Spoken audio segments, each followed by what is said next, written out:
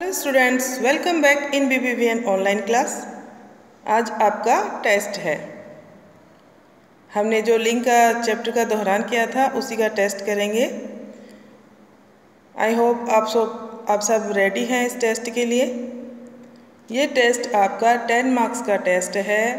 इसमें ten question है one one marks के ओके दस नंबर का दस नंबर का है टेस्ट और एक एक नंबर का आपका प्रत्येक प्रश्न है। इसमें प्रश्न है, निम्न शब्दों के लिंग बदलकर लिखो।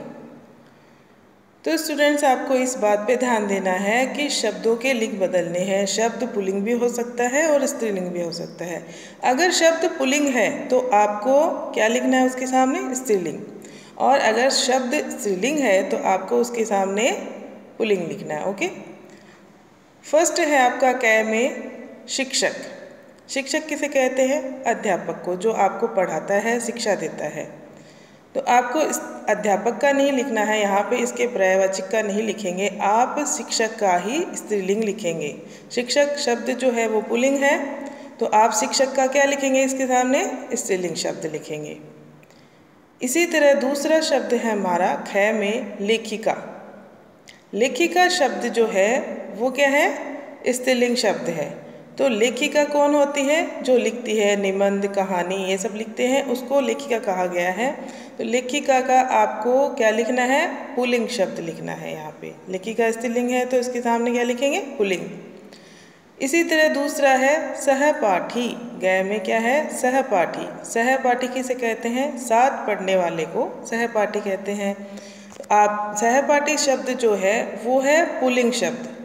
आपको इसका स्त्रीलिंग इसके सामने लिखना है। इसी तरह घ में है पुत्र। पुत्र का स्त्रीलिंग शब्द इसके सामने आप लिखेंगे। ओके? नेक्स्ट है हाथी।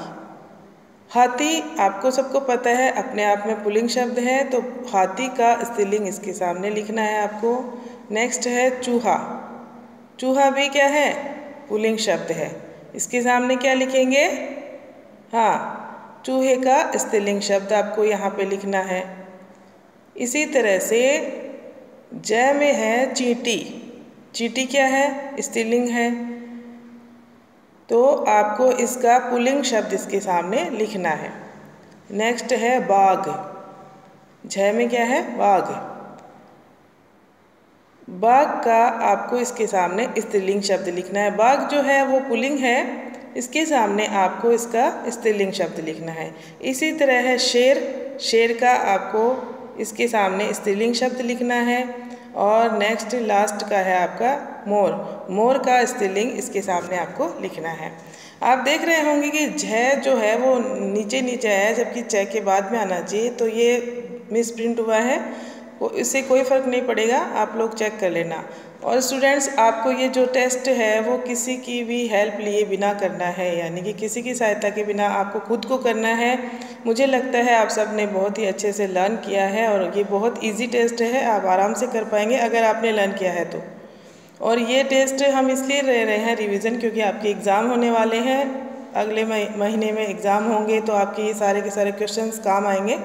तो आपको ये टेस्ट अच्छे से देने हैं लर्न करके। अभी तो आप सोचेंगे कि हम घर पे हैं, देख के कर लेते हैं या किसी की हेल्प ले लेते हैं, लेकिन बाद में जब एग्ज़ाम होंगे तो वहाँ पे आपकी कोई हेल्प नहीं करेगा। इसलिए ये अच्छा होगा कि आप खुद लर्न करते रहें, याद करते रहें और अपने टेस्ट ईमानदारी से देते रहें। Okay thank you